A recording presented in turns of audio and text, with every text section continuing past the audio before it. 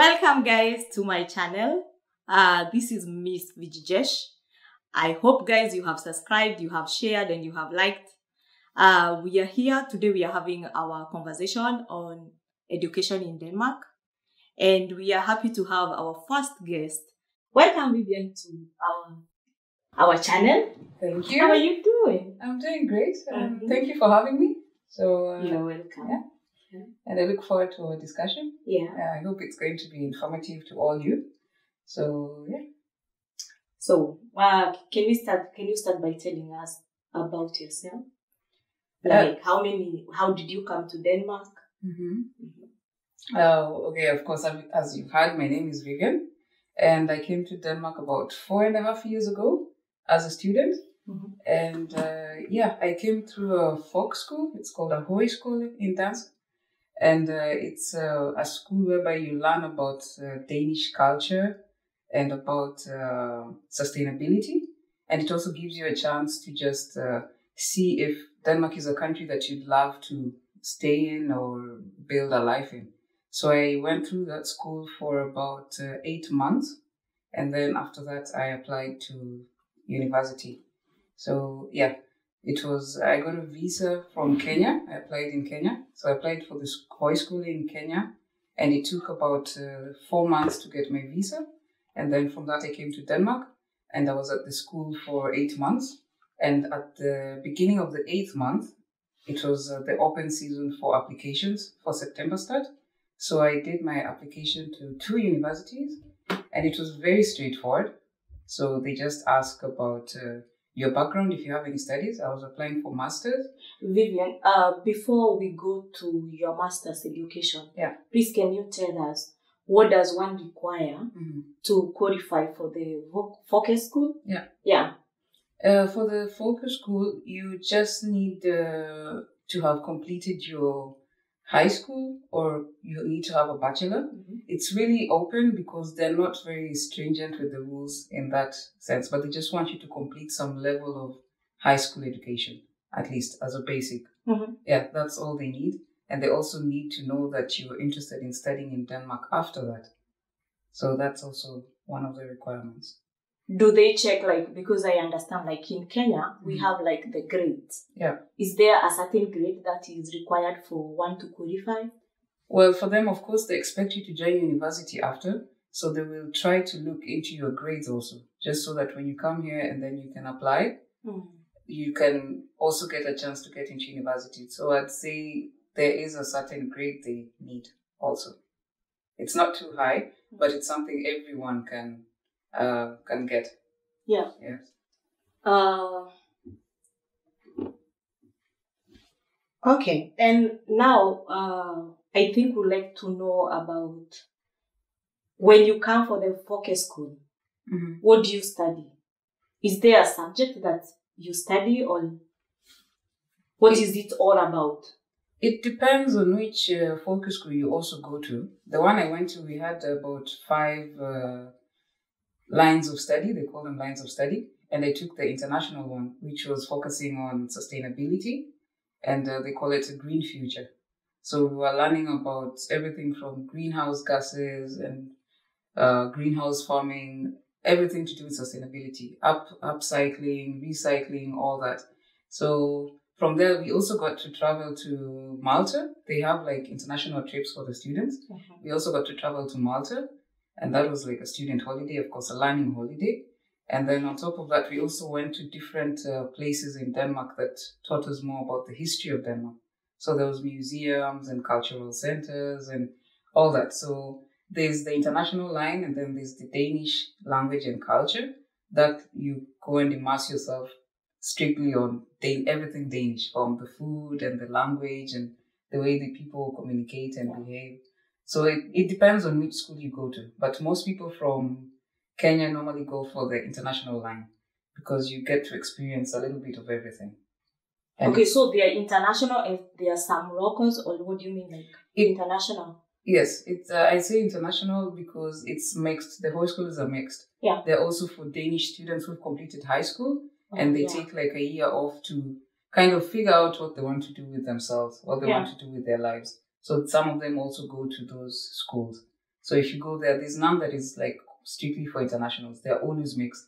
Because Yeah. for them to also get support from the government, they have to have a percentage of Danish students in the school. And uh, is it taught in English or do you study in both English and Danish? There's uh, we had Danish classes there for foundations in Danish, foundation Danish. Mhm. So it's taught in English. The main teaching language is in English for the Okay. international language. But you also have like Danish classes for those who are interested. Okay. Yes. And uh, I have to go back. Mhm. When you are coming for the focus school, Yeah. did you pay any fee or I uh, I had an agent. Yeah.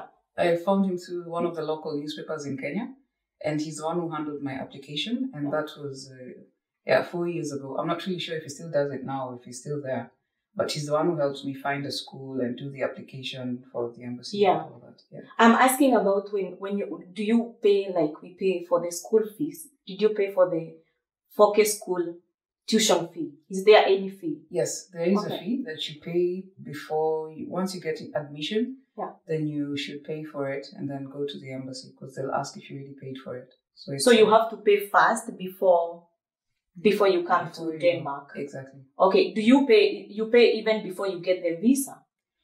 You can pay before you get the visa. Yeah. It's the safest way to do it Mm-hmm. because it shows some sort of commitment that you're actually gonna do it. You want to come here, you want to study that. Okay. So for me, I paid before I went to the embassy. Yeah. Yes.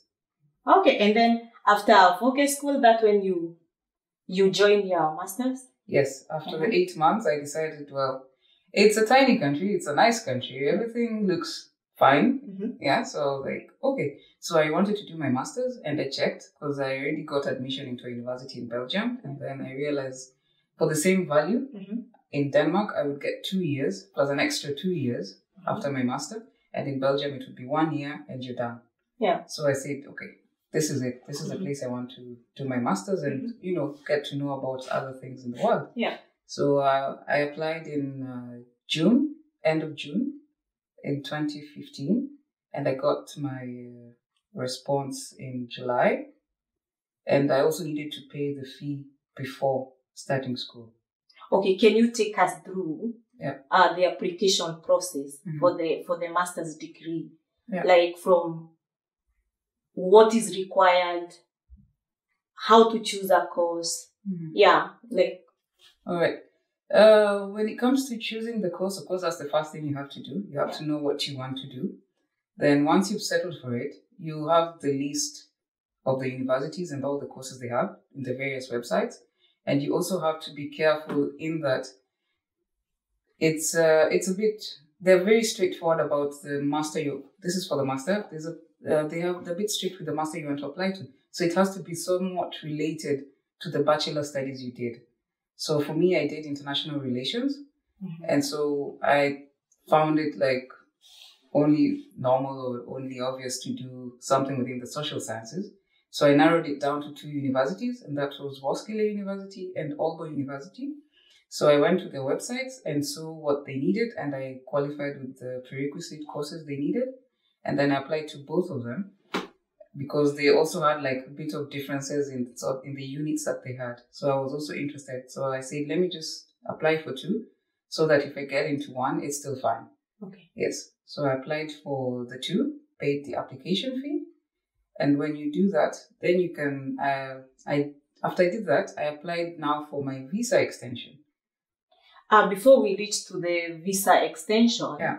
I think we need to understand your journey during your master's study, uh, master's degree. Yeah. Uh, we need to understand like is first uh, is it possible for someone to get direct to master's degree in Denmark, or do you have to go through the focus school It is like you did?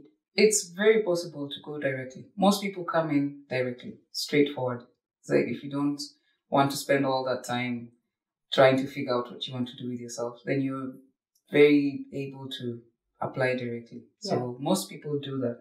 Just go to their websites and find a course and write a motivational letter and apply directly. Because it's a very straightforward online process. Very straightforward, I would say. Okay, guys, as you have heard from Vivian, there are two ways that you can get into having your education in Denmark, you can go through the focus school and you can also apply direct to the master's degree that you want. Or also, I can add you can get your education, the bachelor degree. You can also apply. Do you know anything about bachelor degree? Or For the bachelors, not so many universities in Denmark offer bachelors in English, Yeah. but they are there. There are a few universities that do, but the courses are not so many, and they're also highly competitive. But there are bachelor opportunities, and uh, just to add on to that, Virginia, Yeah. there's also one called the AP degree. It's a professional bachelor degree. They also have those in English. So there are actually options for those of you who've just completed high school if you want to look into those. So there's the AP degree. If you do it for two years, then you can do your bachelor degree for another one and a half years or one year, and then you can do your master for two years. So the AP degree, it's not like uh, I don't want to say that it's not a bachelor, but I think it's sort of like a bachelor, kind of. is it like pre-university, like we, we say in Kenya, or bridging? I'd say it's more of like a diploma, higher diploma. Yeah, because you just do it for two years and then you can go for a bachelor for one year, one and a half years. Yeah. And they also have those in English. Okay, now can you tell us more? Like when you started your masters, uh, was it easy for you to raise the school fees, or is it easy to get jobs, student jobs in Denmark, or how are you financing your studies in Denmark? Oh, well, yeah, that was a journey and a half. It, it was interesting Yeah. because, uh, yeah, one thing I'd stress about is do your research before you come out here, especially with regards to education. Do your research. Talk to people. Find online uh, blogs, find online platforms where people discuss education in Denmark because what you read and what you come to experience out here most of the time will be different. So do your research very well. And for me, when I came out here, I was quite sure I was going to get the white collar student job. And uh, yeah, shock on me. Things turned out to be different. I realized that here students do the blue collar jobs. And uh, of course, you have to work. If you, for an international student, you have 20 hours uh, a week to work. So within the 20 hours, if you have a job, you are able to earn enough to save up for your fee. Oh. Yeah, because the fee ranges from about uh, 5,000 euro a semester up to 8, 9,000 euro, depending again on the course that you're studying. So I was able to, my parents did pay Mhm. for the fee, but I was also able to like sort myself out in terms of now my personal use and all that money. So I was able to study and work the Yeah. blue collar jobs Yeah. and yeah, get some money. So you got some support from your parents? Yes, I did. Okay. Yes, I did. But Oh, so that it's also able to support yourself fully based on the student job, if of course you plan well and yeah. so can we say maybe from from the first year on your start, Mhm. maybe you need some support from from your parent or from your guardians and then afterwards when you when you establish yourself maybe you you get a job maybe you can raise the money without the support Yeah, I'd say if you have like, uh, just put some money aside for the first semester because that's when you're still trying to find your way around and finding about all these jobs and stuff. So it would be good if you pay the first semester fee and then have something on the side just to keep you going as you try to find something. Then after that, you should be confidently able to support yourself.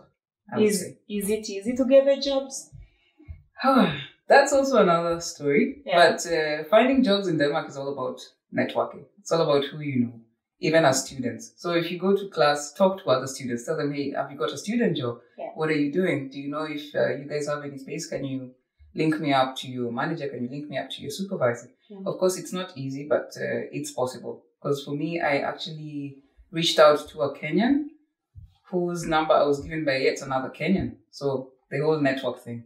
yeah That's how I got my first job. because i was to ask you Yeah. because you said uh, it's all about networking there is a networking plays a big role in finding a job Mm.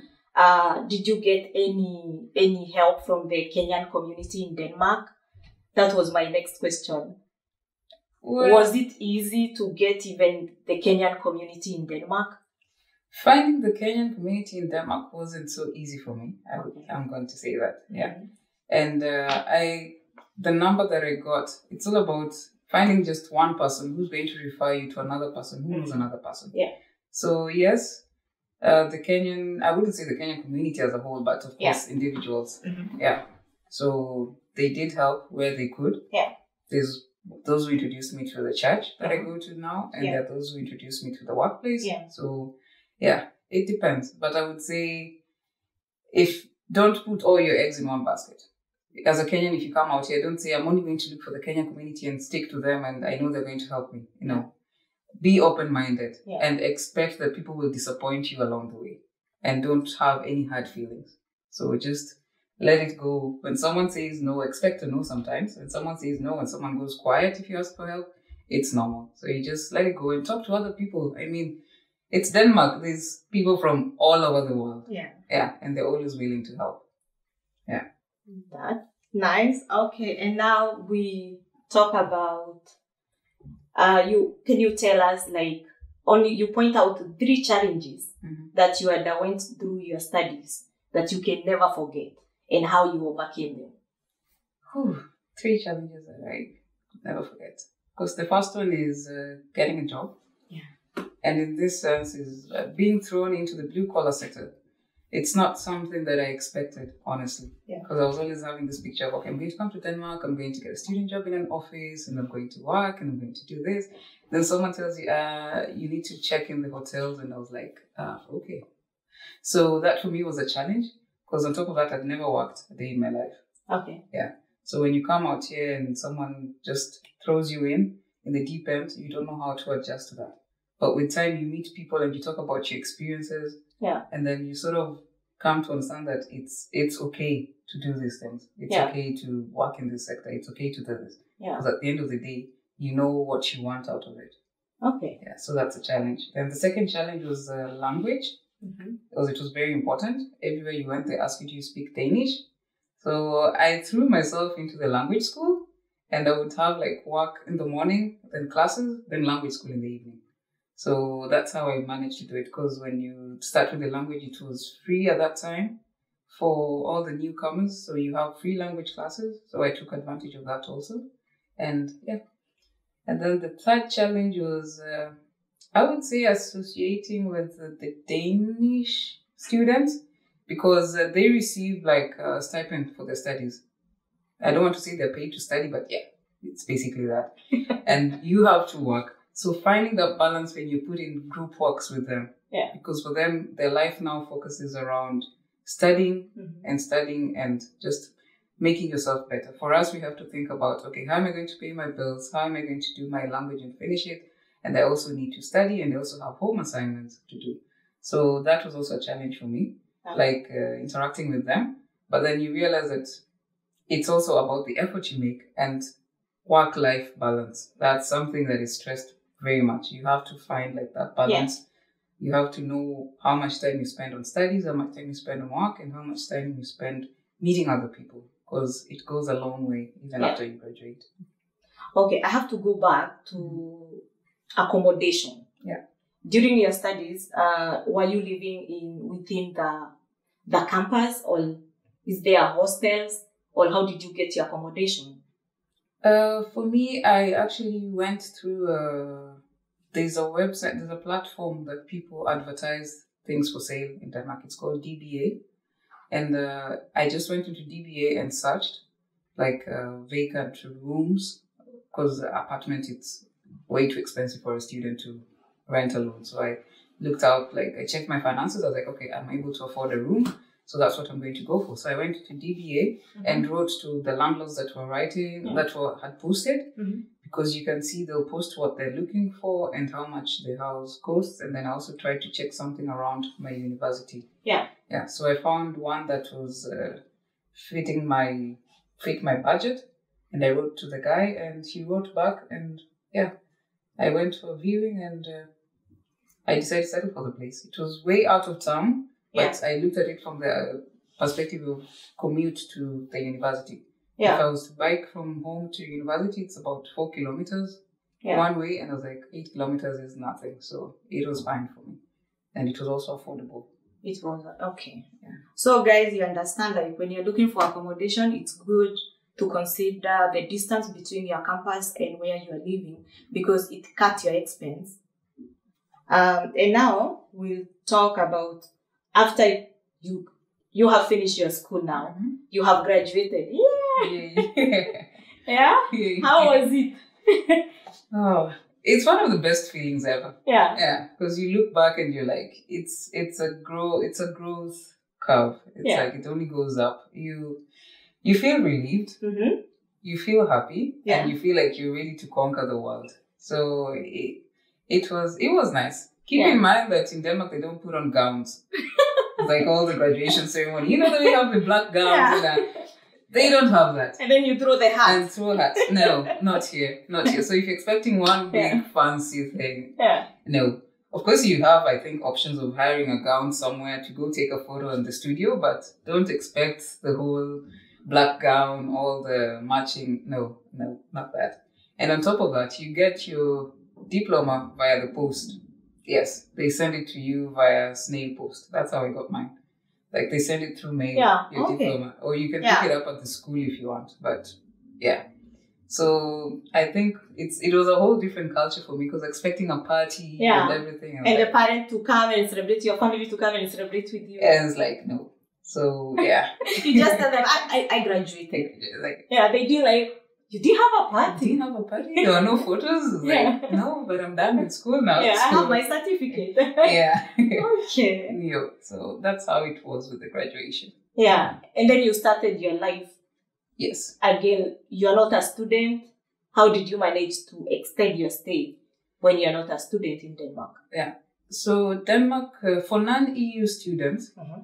Who have completed their masters and also PhD, Yeah. Denmark has a visa that is called the establishment card, and that one is uh, you have to have graduated from a, a public university in Denmark, and you get two years to find a job or to start a business in Denmark.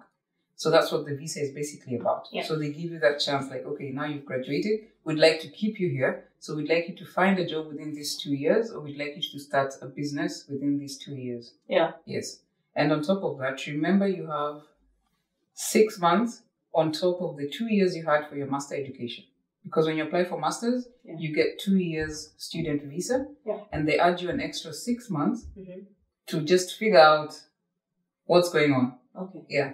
And then within that six months, you should apply for the uh, establishment. Okay, for the establishment. Yes. Okay. So that's uh, that's how I did it. So I finished the six months, Yeah. and then I applied for the establishment, which Yeah. gave me another two years. So within these six years, you can work. The six. You are still valid to live in Denmark Yes. and you can work. Yes. Okay. Yes. Within that, you should be able to work. Just keep in mind that when your visa is almost running out, like the one I had two years for the masters and then six months, uh, you need to apply for the next visa up to not more than one month before it runs out. Like, don't wait until it's running out and then you start running around with Yeah. You have to apply on time, and they also don't want you to apply too early. Yeah. Yeah. So you they have the in their website they have they have outlined like the time frames. Yeah. When they need you to apply and all Mhm. that. Yes. Okay. And take us through the process of applying for the establishment card. The requirements. How did you go about it? Uh, What is required? they require that of course you're done with your master studies. Uh-huh. You have to attach that. Yeah. And you also have to show that you have a job that pays you a minimum of uh, 7,000 krona. That's about 1,200 euros every month. If you don't have that at that time, Mhm. then you need a bank statement of up to uh, 80,000 around thereabout. They keep updating it every year. So you need to have that bank statement to show that you can support yourself for at least six months in Denmark. Or you need to show a work, uh, a job contract that shows that they're paying you this amount, 1,500 euros, 1,200 euros every Yeah. month, just to show that you can support yourself in this time. So those are the main things that they needed. And of course, a valid passport and all that. So yeah, those are just the main things that they need for that. Do you have an idea like how someone can raise all that amount of money? Or is it just a statement? It's, I would say it's just a statement. Like just Yeah. have the money in your account and uh, yeah. because of course there are different ways to do it. People Yeah. do it, but they just want to see that it's there. So most of the time, I'd advocate that if you had a student job that paid you up to that amount, try to keep that job and talk to your supervisor. Yeah. Yeah. Because the main thing is the contract. Talk to them and say, okay, I'm, I've graduated. I'm still trying to find my foot, but I'd like to keep this job to help me apply for this visa. Yeah. Most of them would agree because at the end of the day, you're still working, you're still earning. So just ask them if they can extend your contract. Yeah. And just make sure that they're paying you that minimum amount that is needed. Okay. Yes. So can you ask like your family to send you money in their account or can you ask maybe friends so that you make your statement? I believe that is also Or is it only from what you are working? Uh, I think uh, for that one it's a bit tricky. Yeah. Yeah, because of course with the anti-money, anti-money laundering rule in Denmark, if family sends you that amount, Yeah. it's also going to raise flags with the bank. Yeah. So it has to be, you have to plan beforehand. Yeah. Yeah. So I'd still say that if you have a student job, don't quit after you graduate and say, hey, now I've- graduated, I don't need this job anymore. No, Don't Please go partying with the don't money. go party with the money. Please keep that money. Just Yeah. let it. Yeah. just keep the money, keep the job until you find something else. Because it's going to help you apply for the establishment card. Okay. Yes. And then from there you just you get an establishment for for how long? Like you can live in Denmark You, with the establishment card. With establishment card, you get two years. Yeah. Yes, you get two years. Mm-hmm.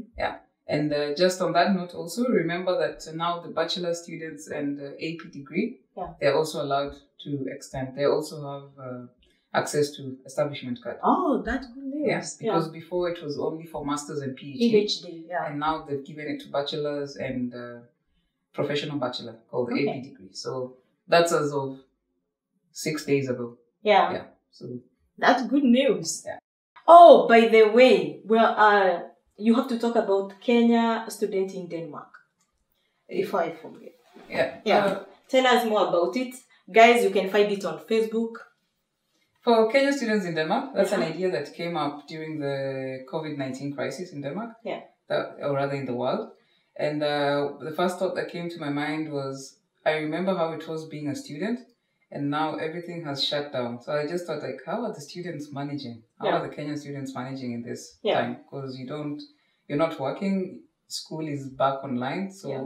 how are they supporting themselves? Yeah. So I reached out to Virginia, you, Yes. yeah, and I asked like, what can we do about this? yeah. Yeah, and then I told you about what I was thinking, and then we shared ideas. Yeah. And so this platform came up Mhm. to basically be a place where Kenyan students can come and share Mhm. About the student life, about the student journeys, and how to help each other out in Yeah. terms of finding job, Mhm. in terms of how to access the resources that are available to students in Denmark, Yeah. and basically just to make their life as students in Denmark manageable.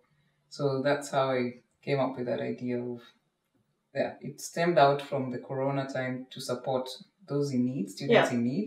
Yeah. And now I realize that there's also that gap Yeah. where students come and they do not know where to start. Yeah. Yeah. All the all the information, it's a lot of information to take in. Mhm. And if you don't have like someone to guide you through, it's easy to get lost in it because you miss Yeah. out on some things. For example, I didn't know that as a student at Roskilde, I could go to the Copenhagen University Library and just walk in and study there. I didn't know that. Yeah. Yeah. And that's something that everyone else expects that you know automatically. Yeah. But I didn't know that. So these are things like they might seem so little, Yeah. but they're quite important for students also. Yeah. Like knowing like you can go to any library in Copenhagen and study, Mhm. borrow books from any library. Yeah. And also sometimes you can attend some of the classes. You just walk in and talk to the lecturer and just Mhm. say you'd like to sit and follow through and just Yeah. get a feel of it. So those are things that uh, I hope this group is going to help the Kenyan students with in terms of applications, how the application process is, Yeah. how life is here, and Yeah. uh, yeah, student cards, everything, orientation as a student in Denmark. Are you planning for any mentorship program? Because now we know we have students in Denmark, but there's this problem of mentorship. You don't because we'll go back to the networking. Yeah. Before you get uh, someone you know, maybe through mentorship, Mhm. someone can can get a chance to understand how to get a job, how to make a CV Mhm. in Denmark. Yeah. What do you think about mentorship program? I think uh, it would also be good to have mentorship programs, Yeah. especially for also student Kenyan students, Yeah. because sometimes you're studying a course and you're trying to find a job. And I always say it's always a bit easier when you see someone you can look up to who understands. Like if you see another fellow Kenyan working in the IT sector or in the hotel industry, and you can approach them and ask, like, okay, how did you do this? How is this different from home? Yeah. how do I go about this? And you can also reach out to probably a master student who did the bachelor that you're doing and ask them, okay, when you're writing your paper or your project, how did you go about this? Yeah. So I think mentorship is very important, and we are hoping to partner with some of the mentorship uh, networks in Denmark. Yeah. So that uh, we can help students like get on the right track when they go out there. I mean, it's just paying it forward, Yeah. basically. Yeah. So, guys, uh, if you're there and you feel like you can mentor someone, uh, feel free to contact Vivian. You can reach out uh, the Facebook page. It's called Kenyan Students in Kenya Denmark. Students in Denmark. Yes. Yeah, feel free to write there. If you have any information, any questions, you can also write on that page. We'll get back to you, and also you can comment on our channel. We'll answer you. We'll consider everything. And if you're watching there and you have extra information that you can add, please feel free to comment and give us that information. It will help some someone somewhere. Mm-hmm. We are doing this to inspire the young people and to make them feel At home. at home Away from home. away from home because did you did you experience any homesick A lot. A lot. what what do you miss most I missed the food. yeah I missed the social life. Yeah. I missed my friends and family. But you learn, I always say when you go outside, when you go to a place that is not your country, try to unlearn to learn. Because you come and you've known, you know so many things, or you think you know so many things. But if you come with that mindset, you will never learn. So you unlearn to learn. That's what, Yeah. that's my life motto. I'm like, unlearn to learn. Give, have space to learn more because you not know anything. And no question is ever too stupid, by the way. Ask. Even if it's you think it's basic, just Yeah. ask. If there's always someone who's going to answer. Just ask whatever it is. okay thank you vivian Thank for giving us all that information it's useful information Yeah. Thank you so much Anytime. And thank you guys for watching. We hope the information that we have shared it will be helpful to you guys. And if you have any extra information, please feel free to comment. And uh, thank you for the support and continue to subscribe, to comment, and to share. Thank you. Hi hi.